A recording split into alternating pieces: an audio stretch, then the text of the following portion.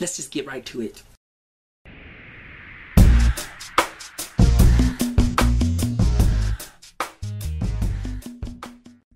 So today I'm going to be talking about another book that I read in the early part of April, which is called Harp of Burma by Michio Takeyama.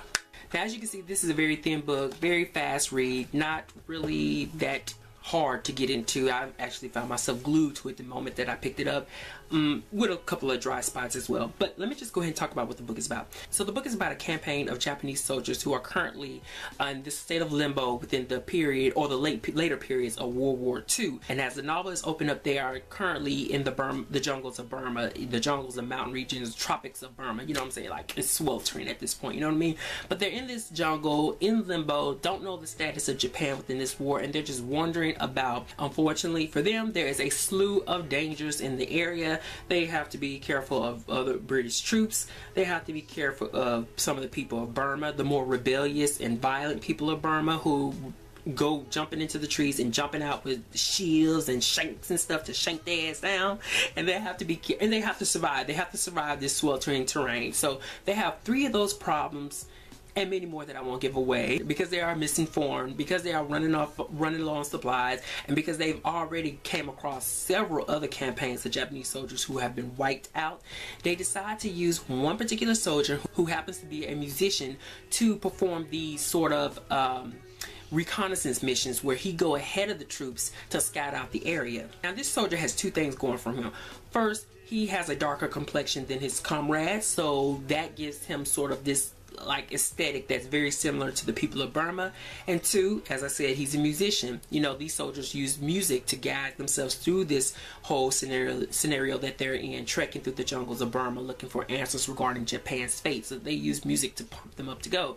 But because he is a musician and because he plays a harp and because he does have that complexion similar to the people of Burma, so that allows him to like merge in, as I said, they use him to go ahead. He scouts ahead. He goes on reconnaissance mission. Once he scouts the area, he uses the harp to signal to his comrades whether it's safe to go this passage or that passage, back for what's ahead, what they have to look forward to, and just basically maneuvering their way through the jungles of Burma. Like I said, they have a lot that they can run into that could just send the, their whole campaign into peril. They've already witnessed the death and the mutilation of plenty of their other Japanese comrades who were in different campaigns. So this is their one saving grace within this whole situation. Now I'm gonna try not to spoil it here, but at one point in the book, very early on, that musician is separated from his campaign. Um, is very much a separation that is leaving a lot of questions, and um, I can't give nothing else away.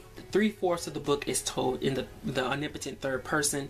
Um, from a collective standpoint, that narrative is basic consists basically of one Japanese soldier speaking as many. But then the last quarter of the book is told in a frame narrative, um, driven specifically by the Japanese soldier who was a musician who ended up disappearing or finding a fate unknown. Anyway, let's make this quick by getting into the pros and cons of the book that I enjoyed and did not enjoy. As some of you may or may not know who've been watching my channel, you know that I do have a, an affinity for like Asian stories and Asian authors, particularly story Asian stories that take place in the early 20th century. I don't know why. I think it kind of bounces back to one of my favorite book, books, which is A Kitchen God's Walk by Amy Tan. Reading that book years and years ago, I first kind of bear witness to a lot of the disparaging positions that people in China uh, were placed in in the early 20th century, disparaging and depressing and all kinds of things. I did feel like Harp of Burma did provide me or did speak to that affinity by providing, you know, a lot of cultural information on people, the people of Burma during this particular period, you know, World War II, as well as, you know, Japanese people as well, Japanese soldiers to be specific and, you know, their position within the war, as well as, you know, even the British soldiers who were populating the book. So I really did enjoy that aspect. I love flipping through pages and getting new cultural information. Um, a lot of times when I'm reading these books and there's something that's startling to me, like sort of like the the, the, the topic of monks, Burma, you know, the people of Burma who are monks and their, their, their traditions.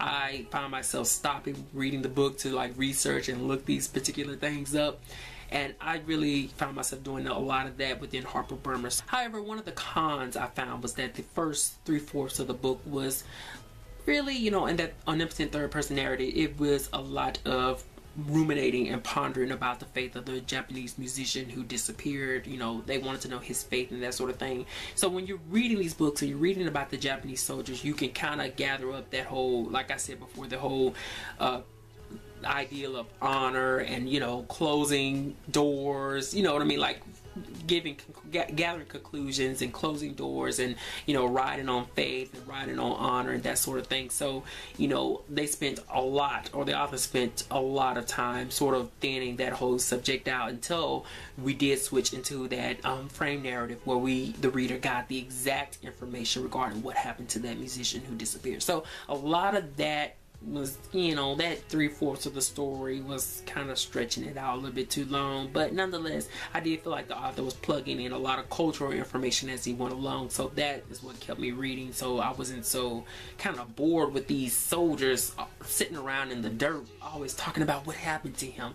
Is he here? Is he here? Is he here? Is he here? He has to get home to his family. He has to get home. He, the book originally, you know, in written in Japanese, originally was written for uh, Japanese teens things sort of to, I don't know, plug in this sense of heroicism as it regards to Japan within the war you know take up the take up the mantle and go after you know the country that sort of thing. A lot of that is kind of washed over the text. But anyway that's it. I'm gonna go I'm ready to go read a book. That's what I'm ready to go do. Bye